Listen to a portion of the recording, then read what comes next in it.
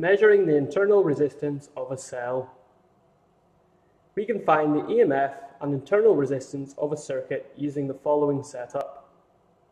We have a 1.5 volt cell as our power supply.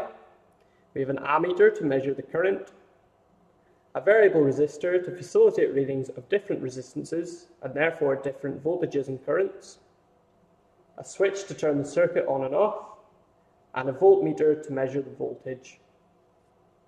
To begin, we record the voltage of the cell when the switch is open. This gives the EMF of the cell, which we can see is 1.54 volts. So the EMF is 1.45 volts. Now we close the switch and we take a reading from the ammeter to be 0.09 amps.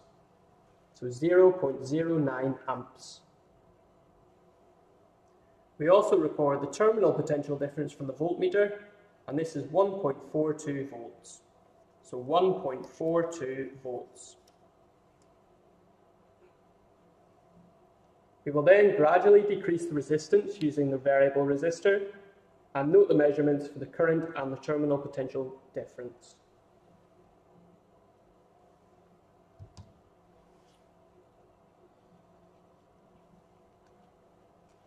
So for our new resistance, we have the current as 0.14 amps, that's 0.14 amps, and the terminal potential difference as 1.41 volts.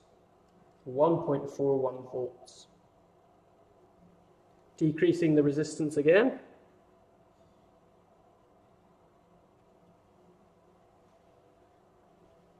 So we have a current of 0.21 amps, 0.21 amps, and a terminal potential difference of 1.39 volts.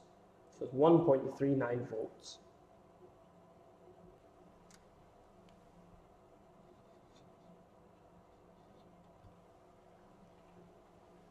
So this time our current is 0.33 amps, 0.33 amps, and our terminal potential difference is 1.36 volts.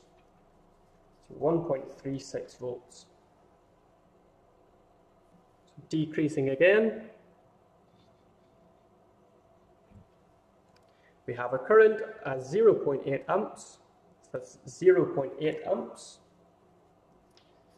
and our terminal potential difference as 1.24 volts. So 1.24 volts. Decreasing again. So we have a current of 1.62 amps, 1.62 amps, and a terminal potential difference of 1.03 volts. So 1.03 volts. So decreasing again to the minimum resistance. We have a current of 3.55 amps. 3.55 amps. Uh, and a terminal potential difference of 0.54 volts. 0.54 volts. Here is our recorded data tabulated. And note that our EMF is recorded to be 1.45 volts.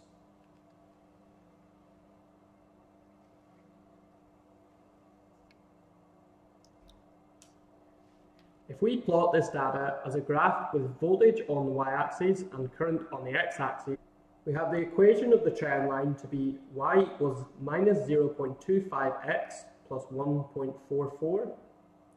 This is consistent with V being the terminal potential difference, R being resistance, I being current, and E being the electromotive force, or EMF.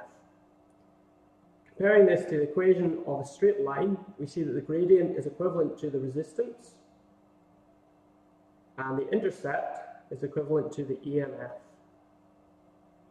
So this works out quite well with our measured EMF being 1.45 volts so with our measurements, we're pretty close to the 1.44 volts that we've got off our trend line.